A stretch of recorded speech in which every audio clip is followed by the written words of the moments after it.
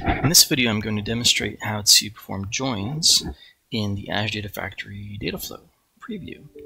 So let's start by creating a new data flow. We'll start from a brand new canvas. I'm going to say uh, plus new data flow here on the uh, Resource Explorer and Data Factory. And uh, what I'll do is I'm going to combine data from two different movies rating files that I have. These movies uh, files come with the sample data on the uh, documentation sites for ADF data flow. Okay, let's call the first one movies one. Oops, and I have a uh, CSV file with movies ratings data here in my blob storage, and it's this one right here. I'm not going to use schema drift because I'm just going to work with the existing uh, schema. If you uh, want to, if you're going to have files that have changing um, columns and uh, sometimes columns added, deleted, changed, want to use schema drift, but we're not doing that for this simple demo. Let's bring in the metadata. So I'm going to go to define schema, and I've got movie ID, which I happen to know is a number, so I'm going to change that to integer. Title and genre, that looks fine. Let's add a second source. We'll take some uh, slightly different set of movie data, call this movies 2. This one I have here as movies DB data sets. You can combine you can combine unlike types. Your data sets can be different kinds of data sets if you like with joins. That's just fine. You can do a left and a right uh, with your joins in um, Data Factory. If you want to join additional sources, you just do a subsequent join, add another join after that initial join in Dataflow. Let's bring in the metadata for the schema for this file, and uh, these are strings. The year is an integer, and the rating is an integer. Okay, very good. That should be fine. All right, so let's uh, do a join on this. So the way that you join these is very simple. We're going to add a join transform after that source. When I do that, the join is attached from the left side to that uh, transform that I clicked on plus for the join transform. We'll leave it named as join 1, and we set, need to set a right side. So the right side is going to be the second source, which is movies 2. I'm going to do an inner join, which is the most common sort of join that is done in these sort of operations and then I'm going to pick the key column that I want to join on. So I'm going to join on title. Okay, that's fine. And you can also optimize that join. This is not a necessary uh, step, this is optional. But if you are uh, loading up a star schema and you have situations where um, the lookup table or the reference or um, dimension table can fit into memory within a single worker node in the Spark cluster, you can say that you want to uh, leverage the ability to have a broadcast join on that. So you can click those, and that'll try to push that data, um, replicate that data into memory on the node, so that can make your uh, join much uh, quicker. As opposed to SSIS, where everything has to be pre-sorted for a join. This is not a merge join specific implementation uh, within Spark. Uh, it's a slightly different implementation um, in this case within Data Factory Dataflow. And then you can also uh, set partitioning for this as well. So if you have a, a good um, range or um, fields that you can hash on, you can select those and you can uh, write expressions for those as well so that you can hash that data across the different worker nodes and the different partitions within Spark. Okay, so we're just going to leave it as that for now. That's fine. You don't need to set this. This is just an optimization, but I wanted to show you that as well. Now from here, we could sink this data uh, directly into uh, your database or your folder. Uh, sink. And so when I go into, I'm going to select a data set for this. I'm going to put this into a uh, folder, which is fine.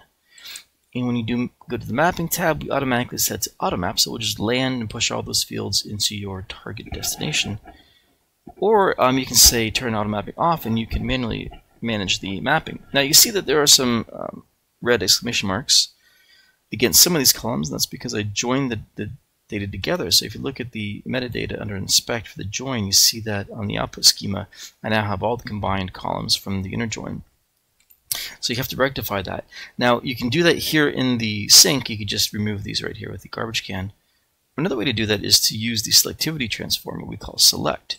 This transform can um, allow you to select specific columns that you want to um, include or alias within your um, data flow. So in this case, you could just clean it up here and you can remove these right here. And now you have a perfectly validated um, data flow. And when you go into the sink, you're only going to see those columns that are now selected.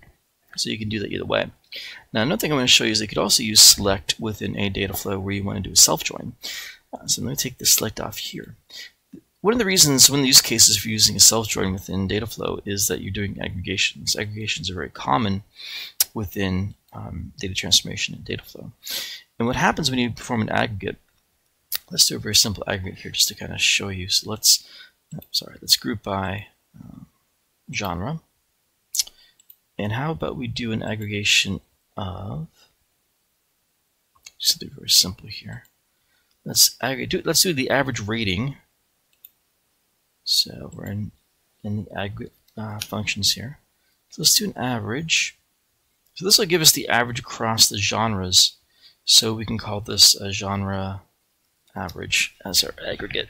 Now, what's going to happen is on the metadata, you'll see that the incoming is all the columns that we have combined between the two sources. When we output and we perform this kind of an aggregation, what happens is the output coming out is only going to be your um, group by clause and then the aggregation that you're performing. So we need to have um, a key coming through as well so we can self-join this back together at the end.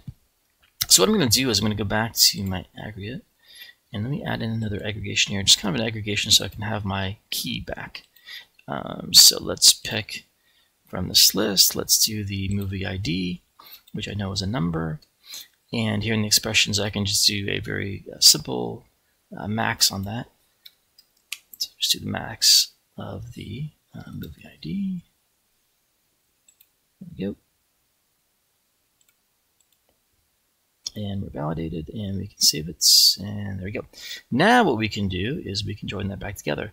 The way we do that, the way to get that original data back, is to branch. So there's this new branch operation here on the transformations.